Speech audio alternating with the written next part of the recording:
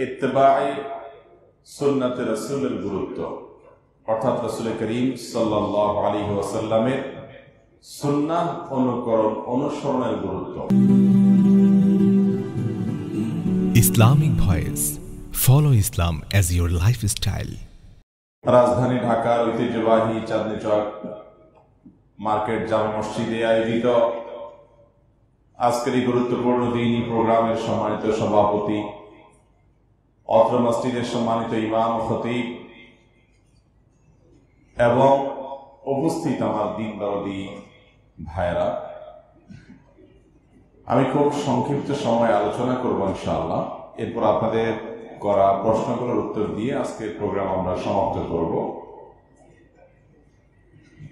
আর আমার আলোচনার বিষয়বস্তু হল ইত্তেবায় সুন্নাতে রসুলের গুরুত্ব। অর্থাৎ রসুল করিম সাল্লাহ আলী ওয়াসাল্লামের সুন্নাহ অনুকরণ, অনুসরণের গুরুত্ব।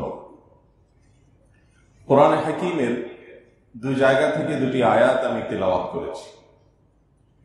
প্রথম আয়াতে আল্লাহ সুহান ইরশাদ করেছেন, কুল, হে রাসূল, আপনি জানিয়ে দেন আপনার উম্মতকে, আপনার অনুসারীদেরকে, ইমানদারদেরকে বলে দিন, ইন কুনতুম তুহিব্বুনাল্লাহ তোমরা যদি আল্লাহকে ভালোবেসে থাকো, ফাত্তাবিউনি, তার মার্কা হবে, আলামত হবে, প্রমাণ হবে আমাকে। অর্থাৎ রসুল আকাম সাল্লাহ সাল্লামকে অনুসরণ করো, অনুকরণ করো। তিনি যা করেছেন, তার অনুকরণ অনুসরণ করো। এর মধ্য দিয়ে প্রমাণ হবে যে তোমরা আল্লাহকে ভালোবাসো।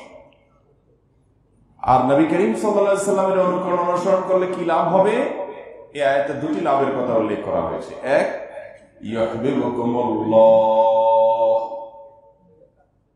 আল্লাহ রব্বুল আলমিন স্বয়ং আমাদেরকে ভালোবাসবেন। কে ভালোবাসবেন ভাই? বলতে খুব সহজে বলে ফেললাম। বিষয়টা কিন্তু খুব সহজ না।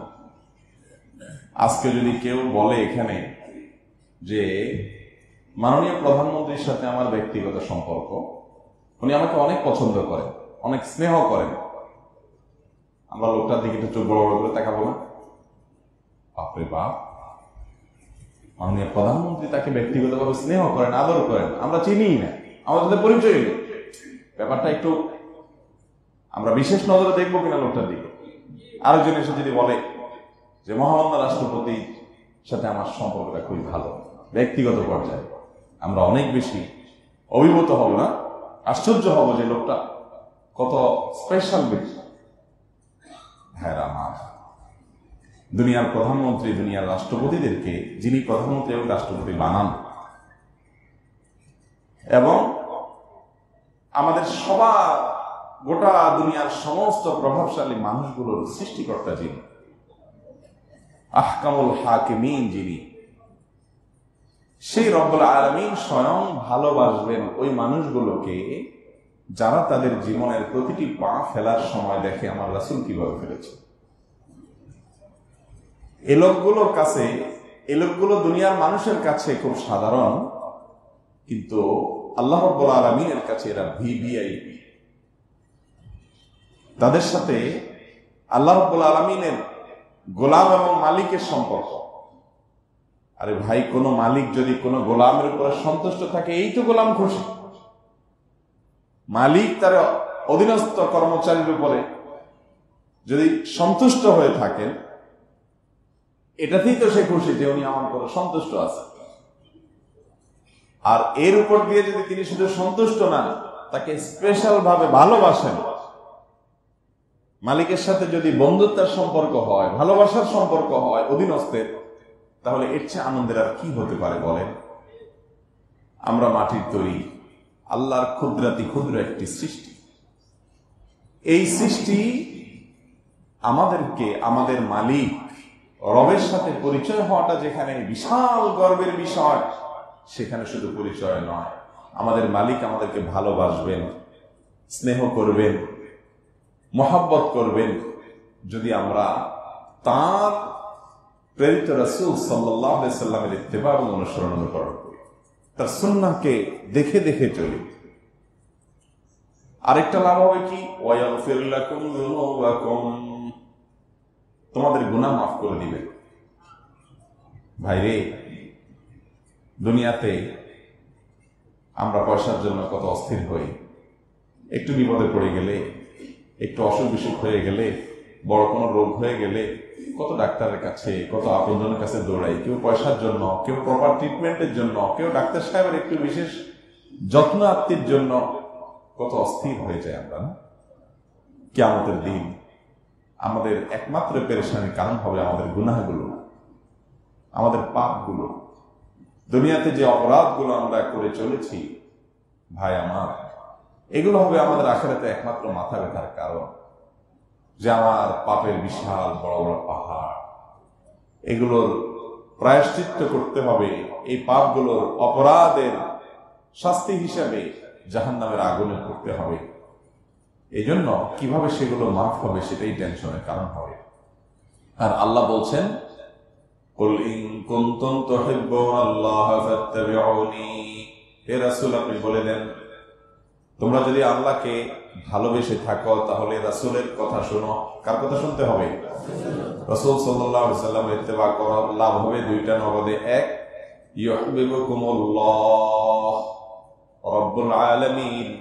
গোটা জগতের সমস্ত রাজাদের রাজা। মহান রব তোমাদেরকে স্বয়ং ভালোবাসবেন এবং কেয়ামতের দিন তোমাদের পেরেশানির কারণ হবে যেটি মূল, সেই পাপগুলোকে ক্ষমা করে দেবে।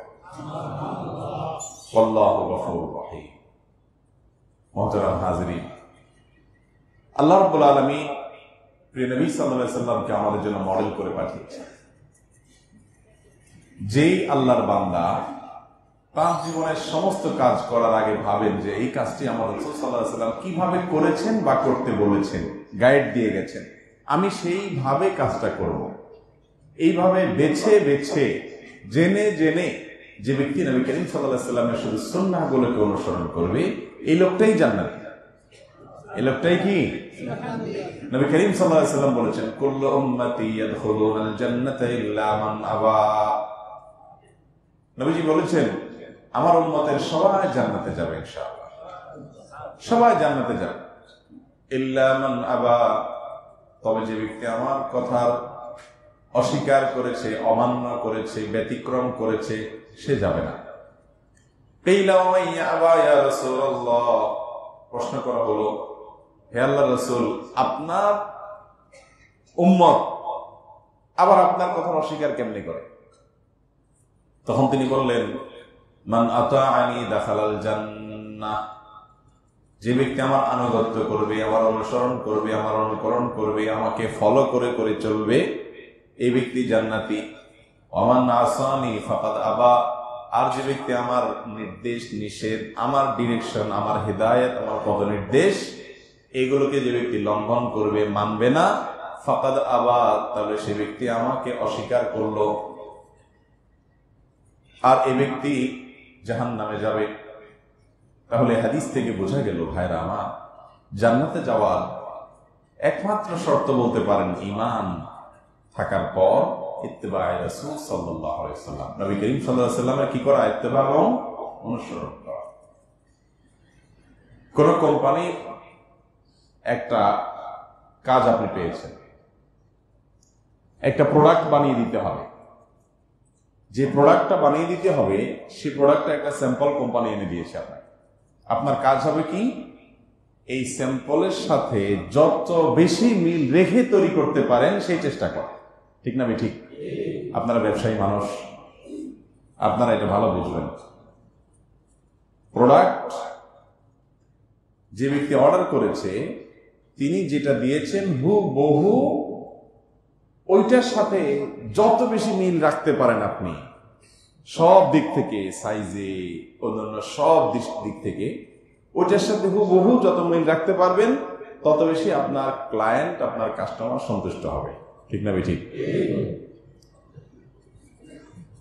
আল্লাহ রব্বুল আলমিন আমাদেরকে কোরআনে হাকিমে তার কিছু আদেশ নিষেধ দেওয়ার পর এগুলোর একটা মডেল হিসাবে পাঠিয়েছেন রসুল আকরম সাল্লাহ সাল্লাম এবং আমাদের জন্য তাকে নমুনা হিসাবে দিয়ে বলেছেন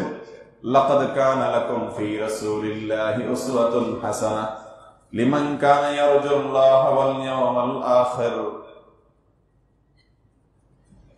তোমাদের জন্য রয়েছে আল্লাহর পাঠানো রাসুল, আল্লাহ পাঠিয়েছেন। আল্লাহর পাঠানো রাসূলের মাঝে তোমাদের জন্য রয়েছে উত্তম মডেল, নমুনা, আদর্শ। তার মতো করে তোমরা যারা আল্লাহর সাথে সাক্ষাতের কথা বিশ্বাস করো। তোমাদের যাদের বিশ্বাস হয়েছে যে কেয়ামতের দিবসে তোমাদেরকে আল্লাহর সামনে দাঁড়াতে হবে, তোমাদের জন্য আল্লাহর পক্ষ থেকে পাঠানো স্যাম্পল হলেন, নমুনা হলেন, মডেল হলেন স্বয়ং অতএব এই মডেলের সাথে আমার কতটা মিল আছে? আমার দাঁড়িটা আমার রাসুলের সাথে মিলে কিনা? হুম?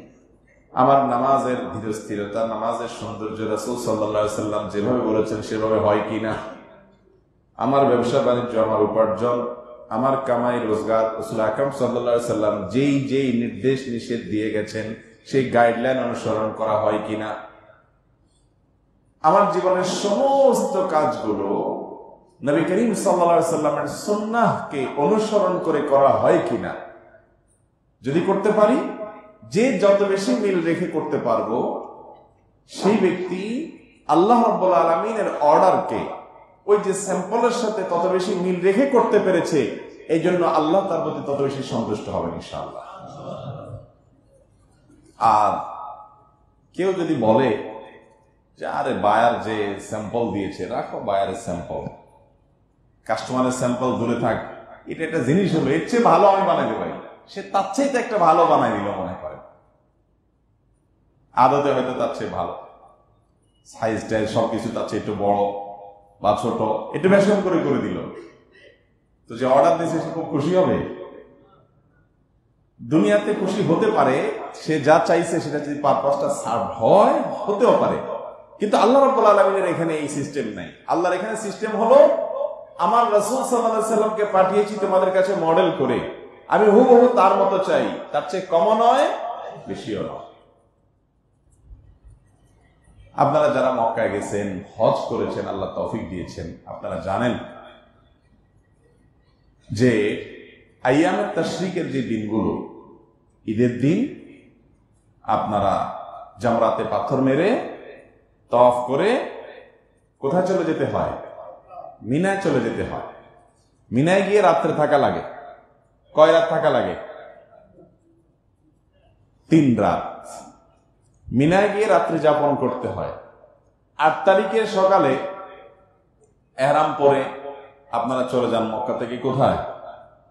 মিনা যে মিনা আট তারিখে থাকে তারপরে আট তারিখে সারাদিন থেকে নয় তারিখে সকালে যান কোথায়?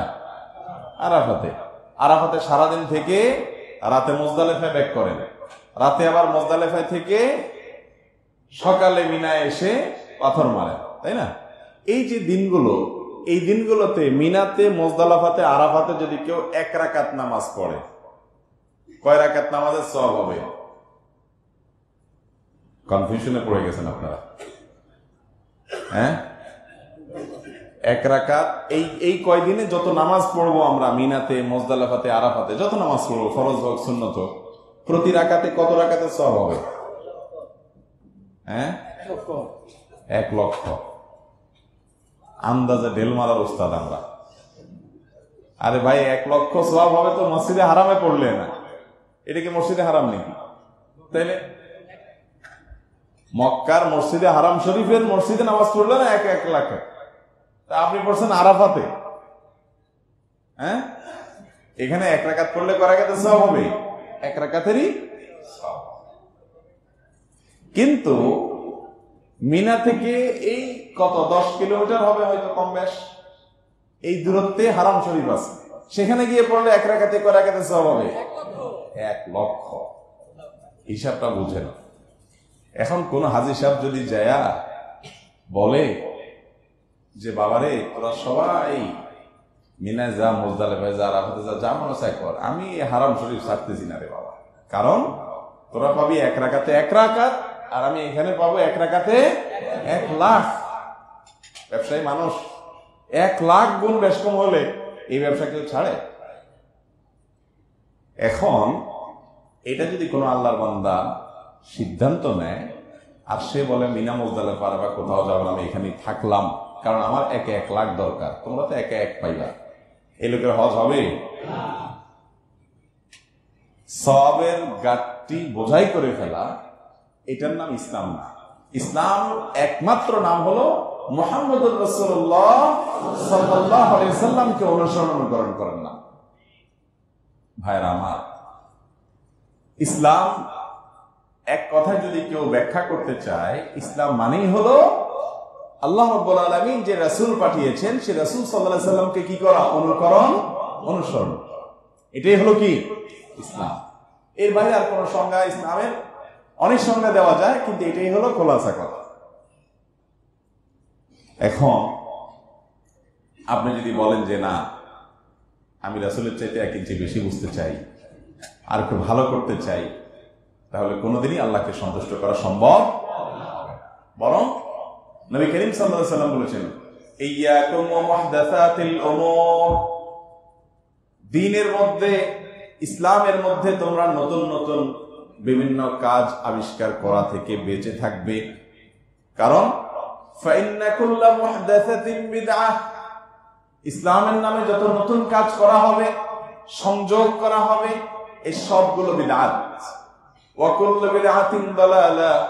আর সকল বেদাত হলো গোমরাহি, পথভ্রষ্ট করা মানে ট্র্যাক থেকে সরে যাওয়া সিটকে যাওয়া, রাস্তা আদায় করা। ওয়াকুল্ল দালালাতিন ফিন্নার। আর রাস্তা থেকে যদি সরে যায়, সুন্নাত থেকে যদি সরে যায়, তাহলে তার ঠিকানা, গন্তব্য শেষে কোথায় হবে? জাহান্নাম। সুন্নাত হলো একটা রোড। এই রোডে যতক্ষণ থাকবেন, এর শেষ এবং এন্ডিং হবে জান্নাত দিয়ে। আর সুন্নাতের বাইরে কোন পদ্ধতি যদি যান, দেখতে যত সুন্দর হোক, যত ভালো লাগুক, সেটা হলো ডাইনে বামের গলিপথ, গিরিপথ। এগুলোতে নেমে গেছেন, তো শেষ গন্তব্য কোথায়? জাহান্নাম। যদি আবার ফিরে মূল ট্র্যাকে আসতে পারেন, তো আলহামদুলিল্লাহ, ভিন্ন কথা। আর যদি ওই গিলিপথ গিরিপথে গলিপথেই থাকেন, তাহলে ওইগুলোর শেষ মাথায় কি আছে? অকুল্ল দলালা থেকে ফিন্না এই জন্য ভাইরা আমার রসুল আকরম সাল্লাহ সাল্লামের সুন্নাতের অনুকরণটাই হলো দিন। দিন মানে কোন আলোচক, কোন বুজুর্গ, কোন নেককার, তিনি আপনাকে অলৌকিক কিছু দেখায় ফেললেন, অনেক কিছু ঘটে গেল, এটা দিন না। হ্যাঁ আল্লাহ নেককার বান্দাদের দ্বারা অলৌকিক কিছু ঘটতে পারে, কিন্তু অলৌকিক কিছু ঘটলে সেটাকে দিন মনে করা এটা না, ঠিক না। দিন মানে হলো রসুল করিম সাল্লাম কি করেছেন, কি করতে বলেছেন। আমরা কে কোন গ্রুপের লোক, কে কোন ইজমের লোক, কে কোন মতবাদের লোক, কে কোন পন্থার লোক, কে কোন ব্যক্তিকে আমরা অনুসরণ, অনুকরণ করি, এগুলো বড় কথা না। মুসলমানের বড় কথা হলো কি, আমার কাজগুলো রসুল আকরম সাল্লাহ সাল্লামের হাদিসের সাথে সামঞ্জস্যতা আছে কিনা, এটা যদি আমি জানতে পারি, নিশ্চিত হতে পারি, তাহলে টেনশনের কোনো কারণ আল্লাহ বলার করাই কি বলছেন? فلا وربك لا يؤمنون حتى يحكموك فيما شجر بينهم আল্লাহ বলছেন তার রসুল সাল্লাহ সাল্লামকে ফালা ওয়ারাব্বিকা শপথ আপনার রবের আল্লাহ নিজের নামে নিজে শপথ করে বলছেন আপনার রবের শপথ লায়ক মেনুন মুসলমান যারা দাবি করবে মানুষেরা আপনার উম্মতেরা কেউই ততক্ষণ পর্যন্ত ইমানদার হিসাবে আল্লাহর কাছে গণ্য হবে না, ইমানদার হতে পারবে না। যতক্ষণ পর্যন্ত তাদের মধ্যকার বিভিন্ন বিষয় নিয়ে বিবাদ, গন্ডগোল, বিতর্ক ভিন্ন মত তৈরি হলে তারা আপনাকে, অর্থাৎ রসুল আকরম সাল্লাহ সাল্লামকে সালেস না মানে সালেস মানে তাকে একমাত্র বিচারক তাকেই একমাত্র জাজমেন্টাল জায়গায় যদি না রাখে, তিনি যা বলেন সেটাই সিদ্ধান্ত হিসাবে যদি না মানে তাহলে কখনো মানুষ ইমানদার হতে পারবে আমাদের মধ্যে অনেক বিষয় বিতর্ক হয়, বর্ষা হয়, তর্ক হয়। আপনি যেই মতেই থাকেন না কেন, আপনি যদি জানেন যে আপনার মতের সপক্ষে রসুল আকরম সাল্লা সাল্লামের কোন একটা নির্দেশ আছে, প্রমাণ হয়েছে আলহামদুলিল্লাহ, আপনি টেনশন মুক্ত হয়ে যান। আর যদি দেখেন তর্ক করেছেন, বিতর্ক করেছেন, কিন্তু আপনার বিপরীতে যিনি বিপক্ষে যিনি, ওনার সপক্ষে একটা হাদিস পাওয়া গেল, রসুল সাল্লাহ নির্দেশ পাওয়া গেল। তাহলে আপনি ওইটাকে সাথে সাথে মেনে নিতে হবে। আল্লাহ তালা আয়াতের একটা পর্যায়ে বলছেন যে। আমাদের মধ্যে যখন বিভিন্ন বিষয় নিয়ে তর্ক, গন্ডগোল লাগে তখন আমরা যখন হাদিস কোরআন খুঁজতে থাকি যে কি আছে, না আছে, দেখি কার পক্ষে কি আছে, কি না আছে, তখন হাদিস কোরআন যদি আমার মতের বিপক্ষে পাওয়া যায়, তখন আমরা কি করি? সাধারণত বেশিরভাগ মানুষ আমতা আমতা করি তখন হ্যাঁ আচ্ছা দেখি তাহলে কি হয়েছে আচ্ছা আরও দেখতে হবে। এরপরে কি বলে? আরও দেখতে হবে। হাদিস পাইছে। রসুল আকরম বলেছেন, তারপর মানতে পারে না, মন মেনে নেয় না। এই জন্য আল্লাহ বলছেন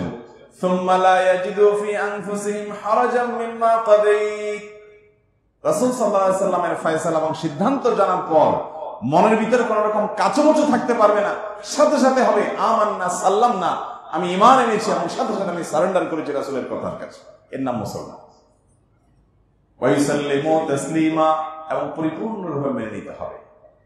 ভাইরা মা সাহাবা একরাম রিদওয়ানুল্লাহ তাআলা আজমাইন তারা রাসূল আকরাম আলাইহি সাল্লামের নির্দেশগুলো মানার ব্যাপারে এতটা এতটা সিরিয়াস ছিলেন যে একবার আব্দুল ইবনে মাসউদ রাদিয়াল্লাহু তাআলা আনহু মসজিদে আসছেন বাহির থেকে। মসজিদে মুসলমানরা যেরকম ছিল, মুসলমান নামধারী মুনাফিকরাও ছিল। অনেকে মসজিদে এলোমেলোভাবে দাঁড়িয়ে দাঁড়িয়ে ছিল। অনেক সময় অনেক বেদুইন মানুষও বুঝে না কালচার এলোমেলো ভাবে দাঁড়ানো কিছু মানুষ ছিল। নবী করিম সাল্লাহ সাল্লাম খুববা দিচ্ছিলেন। এর মধ্যে এরকম এলোমেলো কিছু লোক দাঁড়ানো। তিনি বলেছেন, বসে পড়ো তোমরা। এই যে বসে পড়া বলেছেন, এই কথাটা আব্দুল মাসুদ মসজিদে প্রবেশ করছেন। মসজিদের হয়তো সামনের দিক দিয়ে ওঠা সিঁড়ি বা এরকম কিছু ছিল। এরকম কোন একটা পজিশনে তিনি ছিলেন, ঢুকতেছেন। নবী সাল্লাহ সাল্লামের নির্দেশ, বসে পড়া। এটা শোনার সঙ্গে সঙ্গে ওই জায়গাটা বসার মতো না, কিন্তু তিনি বসে পড়ছেন। ধরেন আমাদের দেশে মসজিদের সামনে রাস্তায় বন্যা বা বর্ষায় পানি থাকে অনেক সময়, তাই না? কাদা থাকে। এখন আপনি শুনলেন যে ইমাম সাহেব বলছে, বসে পড়েন আপনি ওই অবস্থায় কাবার, কাদার মধ্যে ধপ করে বসে গেছেন। এই বসে যাওয়াটা সাধারণভাবে মনে হয় যে উনি বুঝেন রাসুলের কথা। আসলে আব্দুল মাসুদ রাজি আল্লাহ সাহাবিদের ভিতরে সবচেয়ে বিজ্ঞ আলেমদের মধ্যে একজন ছিলেন। সাধারণ কোন সাহাবি ছিলেন না। কিন্তু বসে পড়েছেন সাথে কারণ কি ভাই? কারণ তিনি আয়াত জানেন, রসুল সাল্লাহ সাল্লামের নির্দেশনার সঙ্গে সঙ্গে বিনা বাক্যে, বিনা চৌচেরায়, বিনা যুক্তি বিশ্লেষণে, বিনা দ্বিধায় সাথে সাথে অনুসরণ অনুকরণ করতে হবে। এবং এটাতেই মুক্তি, অন্যথায় মুক্তি নাই। এই জন্য এটা বিবেচনা করার সময় নাই যে কোথায় কি আছে না আছে। রসুল সাল্লাহ নির্দেশ আসছে, সাথে সাথে বসে গেছি। একে বলে, রসুল সাল্লাহ অনুকরণে অন্ধ হয়ে যাওয়া। এটা ছিলেন তিনি।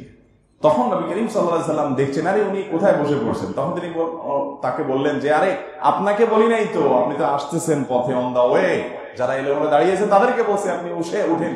নবী সাল্লাহ সাল্লাম তাকে উঠে নিয়ে আসে এই ছিল সাহবাই গ্রামের অনুকরণের দৃষ্টান্ত এবং নমুনা। আজ আমাদের থেকে সুন্নত হারিয়ে যাচ্ছে। ভাইরা, আমার সুন্নত নাই বললেই চলে। আমরা এখন সুন্নত এর সংজ্ঞা কি জানি? যা না করলেও চলে। সুন্নত মানে কি? যেটা না করলেও চলে। আর সাহাবিদের কাছে সুন্নতের সংজ্ঞা ছিল, সুন্না মানে হলো যেটা করতে হয়। আমাদের কাছে সুন্নার সংজ্ঞা হলো যেটা না করলেও চলে। ফরজ ওয়াজিব করা লাগে, কিন্তু সুন্নতটা কি লাগে না? জরুরি ভিত্তিতে করা এই জন্য আজ সুন্নত হারিয়ে গেছে ভাইরা। কোনো কিছুতে আপনি সুন্নত খুঁজে পাবেন না। কয়েকটা সুন্নত আছে যে সুন্নত নিয়ে আমরা গন্ডাগোল করি কামড়া কামড়ি করি, মারামারি করি, টানাটানি করি। হাতে গোনা কয়েকটা সুন্নত আছে। আর এর বাইরে শত সহস্র সুন্না আছে, যেগুলোর পরে আমাদের জীবনে আমল যেমন একটা সুন্নার খেলাফ আমরা এখন সবাই মিলে করছি। সেটা হলো এসার পরে ওয়াজ করা, ওয়াজ শোনা। সুন্নত না সুন্নতের খেলাফ? খেলাফ। এখন নিজেরা করছি যেহেতু একটু ঘুরে গেরা একটু মাসা রাস্তা বাইর করে নেওয়া দরকার তাই না? হ্যাঁ আলহামদুলিল্লাহ। আপনারা তো অল্প সময় শেষ করে ফেলতেছেন নয়টা সাড়ে নটার মধ্যে শেষ করে ফেলতেছেন। এটা এক ধাপ আগাইছেন। তো সামনে থেকে প্ল্যান করেন প্রোগ্রাম করেন যে এসার পরে কোনো প্রোগ্রাম হবে না। এসার আগে হবে ইনশাল্লাহ মাহফিল তো বাংলাদেশে রাত দশটা এগারোটা বারোটার আগে জমেই না। অথচ এটা নবী করিম সাল্লাহ সুন্নত না সুন্নতের খেলাফ? রাতে তাড়াতাড়ি শুয়ে যেতে হয়। নবী সাল্লাহ সাল্লামের সুন্নত মেনে চলবেন, দুনিয়া আখেরাতে সব কল্যাণ একসাথে পেয়ে যাবেন। উনি খাবারের ব্যাপারে আমাদেরকে বলেছেন, পেটের তিন ভাগের এক ভাগ খাবার দিয়ে পরিপূর্ণ করতে। আর এক ভাগ থাকবে পানীয়, পানি জাতীয়। শশা খারিনের মধ্যে পানি আছে, সালাদ আছে, এক ভাগ। আর এক ভাগ থাকবে খালি। তার মানে খাবার পরেও আপনার পেটে কিছু ক্ষুধা থাকবে। আর আমরা খাই কেমন? গলা পর্যন্ত। এরপরে যদি জায়গা থাকে আরেকটু লোড করি, এমন একটা অবস্থা হয়, তাই না? এখন ডাক্তাররা যখন বলা শুরু করছে, ওই যে জাহাঙ্গীর কবির সাহেব যখন ফজিলত বলা শুরু করছে যে কিটু করতে হবে, খাওয়া যাবে না, তাহলে শুকায় যাবেন স্লিম হয়ে যাবেন, আবার জন হয়ে যাবেন, এখন সবাই ঘরে ঘরে আবার কিটু শুরু করছে। আরে ভাই, রসুল আকরম সাল্লাম যেভাবে খেতে বলেছেন অল্প করে, পেট পূরণ করে না খেতে বলেছেন, এইভাবে খেলে আর কিটো ফিটোর দরকার হয় কোনো? সুন্নতেই সমাধান। করোনা আসার পর ডাক্তাররা, বিভিন্ন গবেষকরা আমাদেরকে জানাতে লাগলেন যে রাত দশটা থেকে দুইটা, এই সময়ের ঘুম স্বাস্থ্যের জন্য খুব উপকারী। অনেকে বাঁচার জন্য করোনার ভয়ে রাতে তাড়াতাড়ি করে শুয়ে যায়, কারণ এই টাইমে শুইলে বডিতে ইমিউন স্ট্রং হয়, রোগ প্রতিরোধ ক্ষমতা বাড়ে।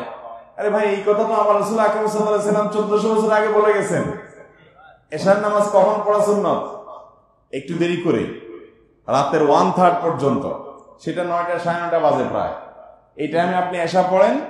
এসা পড়ে আপনি শুয়ে যান। শুধু শুধু দশটা বাজবে। তাহলে বিজ্ঞানীরা দশটা থেকে দুইটা যে বলে ও যে আমার রসুল সাল্লাহ আমার রাতে তাহাজুদের আমল রাখছেন, ভোর রাতে উঠে যেতে হবে। তাহলে রসুল আকরম সাল্লাহ সুন্নাতের সাথে মিলে কি মিলে না? দুই চারটা বিজ্ঞানীরা আবিষ্কার করতে পারছে বাকিগুলোতে এখনও পারে নাই কি আমাদের আগে পারবে। আর না পারলেও রসুল আকরম সাল্লাহ সাল্লামের সুন্নতেই দুনিয়া আখেরাতের মুক্তির বাইরে আর কোথাও মুক্তি আল্লাহ তালা আমাদের সবাইকে প্রতিটা কাজে আমাদের প্রিয় নবী সাল্লাহ সাল্লামের সুন্নতকে অনুসরণ করার তৌফিক দান করুন। ভাইরা আমার, অন্ধকার গহীন অন্ধকার, কোন রাস্তা দিয়ে যখন যায় বাবা, সাথে তার ছেলে থাকে এবং আশেপাশে নানা রকমের ভয় থাকে, গর্ত থাকে, গুহা থাকে। তখন বাবা বলেন যে, আমাকে ফলো করো, আমাকে দেখে দেখে আগাও। তখন বাবাকে দেখে দেখে তার পা দেখে দেখে ফেলতে হয়, তাই না? দুনিয়াতে আমাদের জন্য শয়তান নানা রকমের ফাঁদ তৈরি করে রাখছে, কোনটা দেখতে অনেক সুন্দর মনে হয়, তাই না? কিন্তু সেটার ভেতরে কি আছে না আছে আমরা জানি না। এই জন্য আল্লাহ রব্বুল আলমিন আমাদের জন্য রসুল আকরম সাল্লাহামকে পাঠিয়েছেন যে তার পা ফেলা দেখে দেখে তার পদাঙ্ক দেখে দেখে তার সুন্না দেখে দেখে আমরা যদি চলি ইনশাল্লাহ সকল প্রকার ভয় গুহা গর্ত ক্ষতি এগুলো থেকে বাঁচিয়ে আল্লাহ তালা আমাদেরকে গন্তব্য বলতে যাওয়ার তফিক দান করবে সুন্নাতের অনুকরণ করব তো ইনশাআল্লাহ? খুঁটে খুঁটে সুন্নাকে জানার চেষ্টা করব। সুন্নাকে জেনে আমল করব। জুমার দিনের সুন্না কি? রাতের সুন্না কি? আপনারা চাঁদনি চক মসজিদের এই প্রোগ্রামটা যদি সামনের বছর এরকম করেন যে এই প্রোগ্রামটাতে আপনারা একই টাইমে করলেন, কিন্তু এশার সালাদটা হবে শেষে। খুব বেশি অসুবিধা হবে? সন্ন্যত অনুযায়ী হয়ে গেল। এশার সালাতের পর আর কোনো কাজ নাই। এরপর খুব দ্রুত শুয়ে পড়া। আগে খাইতে পারেন না, পরে খান। কিন্তু আগে খাইতে পারলে ভালো। দেখেন ডাক্তাররা এখন বলে রাত্রে খাইয়া শুয়েন না। খাইয়া একটু হাঁটেন। খাইয়াই ধপ করে শুয়ে যায় না, পেট বড় হয়ে যাবে। আমরা এখন খাইয়া দৌড় দেওয়া শুরু করি, হাঁটা শুরু করি। আর আমার রসুল সাল্লাহ সুন্নত হলো এশার আগে খাইতেন তিনি। এশার? এশার আগে যদি আপনি খান, তাহলে এশার নামাজের চার রেখাত ফরজ, দুই রেখাত সুন্নত, এরপরে তিন রেখাত বিতি। আর যদি নফল দুই রেখাত পড়েন, আর মসজিদে আসলেন, সিঁড়ি দিয়া উঠলেন, আবার বাসায় গেলেন, সিঁড়ি ভাঙলেন তাহলে হাঁটার বাপ দাদা হয়ে যায় কি যায় না বলেন? পেট বড় হওয়ার কোন সুযোগ আছে? নাই। কিন্তু আমরা সুন্নত মানি না। আমারও পেট বড় হয়ে গেছে। আল্লাহ তালা আমাদেরকে সুন্নত মানার দান করুন। সেদিন কে যেন ফেসবুকে আমার পেটের সাইজ ফেসবুকে কোথায় দেখছে, দেখে লিখছে, কয়, শুনছি যে যাদের তাকোয়া কম, তাদের পেট বড়। আমার বলছে, আপনার পেট দেখে মনে হয়েছে। যদি এত সহজ হিসাব করার সুযোগ নেই, অনেকে সবকিছু চেষ্টা করার পরে ফ্যাটি হয়, শরীরটা ফুলে, বড় হয়, বা রোগ বালাই থাকে, ভিন্ন কথা। তো সহজ সমান্তরাল করার সুযোগ নেই। কিন্তু নবী করিম সাল্লাহ সুন্নত মানলে রোগ বালাই থেকে হেফাজতে থাকবেন, সুস্থ থাকবেন, লাভবান হবেন দুনিয়া এবং আখেরাতে। শয়তান সেটা বুঝতে দেয় না। শয়তান সবকিছুকে চাকচিক্যপূর্ণ করে ধরায় আমাদের সামনে, আমরা সেগুলোকে দেখে হুমড়ি খেয়ে পড়ি। আল্লাহ রবুল আলমিন আমাদেরকে সুন্নত রসুল সাল্লাহ সাল্লামকে অনুকরণ অনুসরণ করার তৌফিক করুন ফজরের পরে শোয়া কি সুন্নত না না শোয়া সুন্নত? এই সুন্নত তারপর আমল করেন কয়জনে হাত তোলেন? মাঝে মাঝে আর হাত তোলেন না? বেশিরভাগ সময় ফজরের পরে শোন না। সকালে শোয়ার কোনো অভ্যাসই নেই। এরকম মানুষ থাকলে হাত তোলেন এক পিচ্ছি দুলছে কারণ মাদ্রাসায় পড়ে বেচারা মনে হয়, শোয়ার সুযোগই নেই। আরেক ভাই তুলছে আপনি একটু চিন্তা করে দেখেন তো, এই সুন্নতটার উপর আমাদের আমল নাই। দুপুরে শোয়ার সুন্নত। দুপুরে শোয়া কি? সুন্নত। কাইলুলা যেটাকে বলে। নবী করিম সাল্লাল্লাহু সাল্লাম বলেছেন, কিলু, তোমরা কাইলুলা করো, ফাইন্না শাইতান লা কারণ শয়তান কাইলুলা করে না, দুপুরে শোয় না। এখন আমাদের পৃথিবীর সিস্টেমটা এরকম হয়েছে যে, দেখেন, শয়তান এমন একটা সিস্টেম তৈরি করছে, এই সিস্টেমে আর যাই হোক, রাসুলের সাথে মিল হবে না। সুন্নতের সাথে কি হতে পারবে না? মিল হতে পারবে আপনি দেখেন, সন্ধ্যার পরে দিন শুরু হয়। সন্ধ্যার পরে দিন শুরু হয়। মানে আড্ডা শুরু হয়, জমে। জমতে জমতে বারোটা, এগারোটা, বারোটা, একটা বাজে। এরপরে খেয়ে দেয় শুধু শুধু একটা, দেড়টা, দুইটা বেজে দেখেন, সুন্নতের ধারে কাছে নেই। এরপরে ফজরের নামাজ যদি পড়ে, মুসলমান হয়ে থাকে তো ডুমায় ডুমায় চোখ হাতড়াতে হাতড়াতে কোনো রকম আইসা পড়ে চলে যায়। নামাজের পরে আবার মোবাইলও একটা দেখে না, কারণ চোখের ঘুমের ভাব চলে যাবে। যাই আবার দফা করে শুয়ে পড়ে। একশো আটটা, নয়টা, দশটা, যার যত সুযোগ আছে পড়ে। ওই যে সকালের যে আমলটা, যে সময়টাতে নবী করিম সাল্লাহ সাল্লাম জিকির করতেন, আমল করতেন, কাজ করতেন সেই সময়টাতে শয়তান শোয়া রাখে। আর যখন শুইতে বলতেন, তখন শয়তান কাজ করায়। আবার দুপুরে শোয়া সুন্নত দুপুরে শোয়ার কথা চিন্তা করা যায় এখন? অফিস আদালত সবচেয়ে জমজমাট থাকে কখন? দুপুর বেলা দোকান পাট সবকিছুতে। তাহলে সুন্নত যাতে না পালন করতে পারি আমরা, শয়তান সেরকম সেট আমাদের জন্য কি করছে? তৈরি করে দিয়েছে। কাজের ফাঁকে ফাঁকে দুপুর বেলায় পাঁচ মিনিটের জন্য একটু জিমায় নেন। সুন্নত আদায় হয়ে যাবে সুন্নত মানে এই না যে আপনি দুই ঘণ্টা ঘুমাইতে হবে। দোকানে আছেন, তো একটু হেলান দিয়া খাওয়া দাওয়া করছেন, পাঁচটা মিনিট একটু রেস্ট করে ফেলা শূন্যতা হয়ে গেল। পাঁচ মিনিটের ভিতরে যে এনার্জি তৈরি হবে, আরও ভালো করে ডিউটি করতে পারবে ইনশাল ভাইরা আমার, একটা একটা করে সুন্নতের কথা বলতে গেলে হাজার সুন্নতের কথা বলা যাবে, যে সুন্নতগুলোর মধ্যে আমাদের দুনিয়া আখেরাতের কল্যাণ আছে। এখন যথার্থতা প্রমাণ করেছে বিজ্ঞানীরা, গবেষকরা। কিন্তু মুসলমান সেগুলোকে আগে থেকে আমল করে অতএব আমাদের এবাদত বন্দেগী, আমাদের ব্যক্তিগত কায় কারবার, আমাদের লেনদেন, আমাদের মহামালাত, মহাসারাত, আমাদের পরিবারের সাথে আচার আচরণ, আমাদের কাস্টমারের সাথে আচার আচরণ, আমাদের ব্যবহার, আমাদের সব কিছুতে আমরা দেখব নবী করিম সাল্লা সাল্লাম কি করেছেন, কি করতে বলেছেন। ঠিক আছে তো ইনশাআল্লাহ? এর মাঝে আমাদের জন্য কল্যাণ আছে। এবং সুন্নত জানার জন্য চেষ্টা থাকতে হবে। কোন আলেম কি বলেছেন, কোন হুজুর কি বলেছেন, কে কোন আমল করেছেন, কে কোন আমল করতে বলেছেন, এটা না। আমার রসুল আকরম সাল্লাহ সাল্লাম কি আমল বাতলেছেন? সেটা। এর মধ্যে ইনশাল্লাহ আমাদের নাজাত এবং মুক্তি নিহিত আছে। আল্লাহ তালা আমাদের সকলকে রসুল করিম সাল্লাহ সাল্লামের ইত্তেবা অনুসরণ করার তৌফিক দান করুন। তার সুন্নত সম্পর্কে তিনি বলেছেন, আলাইকুম বি সুন্নতি তোমরা আমার সুন্নতকে আঁকড়ে ধরবে। আমার সুন্নতকে আঁকড়ে ধরবে। বাবা যেরকম সন্তানকে আদর করে বলে, বাবা এ পথে অনেক রিস্ক আছে, অনেক গর্তরর্ত আছে। আমাকে দেখে দেখে চলো। নবীজি সাল্লাহ সাল্লাম সেরকম আদর করে আমাদেরকে বলেছেন, আলাইকুম বি সুন্নতি তোমরা আমাকে, আমার সুন্নাকে দেখে দেখে চলবে। নবী সাল্লাহ সাল্লামের সুন্নাকে যারা দেখে দেখে চলবে, অনুসরণ করবে কেমন ময়দানে আল্লাহ বলাবেন তাদেরকে হাউজে কাউসারের পানি পান করাবেন। যে হাউজে কাউসারের পানি পান করার পর আর কখনো তার মধ্যে তৃষ্ণা আসবে আর যারা নবী সাল্লাহ সাল্লামের সুন্নতকে বিকৃত করে ফেলেছে পরিবর্তন করে ফেলেছে নিজের মন মতো ওই যে নমুনা বা স্যাম্পলকে পরিবর্তন করে ফেলেছে ভালো করতে গেছে বেশি আরও তাদের সম্পর্কে হাদিসে আসছে যে হাউজে কাউসারে পানি পান করতে আসলে বলা হবে সোহতান সোহতান লিমান গাইয়ারা বাদি আমার পরে যারা পরিবর্তন করেছ দূরে সরে যাও। অতএব আমি অন্ধ আমার রসুল সাল্লাহ সাল্লামের অনুকরণ। ঠিক আছে না ইনশাল্লাহ এখন রসুল সাল্লাহ সাল্লামের মহব্বতের দাবিদার যারা তারা বেশিরভাগ ক্ষেত্রে মহব্বতের কথা প্রকাশ করে, ঘটা করে আনুষ্ঠানিকতা করে র্যালি বের করে আশেকের রাসুল প্রমাণ করে। বাংলাদেশে অনেক আশেখ রাসুল সম্মেলন হয় না? আশেখ রাসুল সম্মেলনে যাইয়া দেখবেন অনেক পাগলা, লম্বা চুল, সাদা লুঙ্গি, বা অনেক কিছু দেখবেন। মাগার তার ব্যক্তিগত জীবনে নবী করিম অনুসরণ, অনুকরণ দেখবেন এরা নাকি আশেকের রাসুল। আরবিতে একটা কবিতার অংশ বিশেষ হলো, ইন্নাল মহিব্বা যে ব্যক্তি যাকে ভালোবাসে তার অনুকরণ করে। আপনি রাসূল সাল্লামকে ভালোবাসলে তার প্রমাণ হবে কি দিয়া? অনুকরণ অতএব এই কাজটা আমাদেরকে করতে হবে, নাজাত পেতে হলে আল্লাহ তাআলা আমাকে আপনাকে আমাদের সবাইকে সেই তৌফিক দান করুন।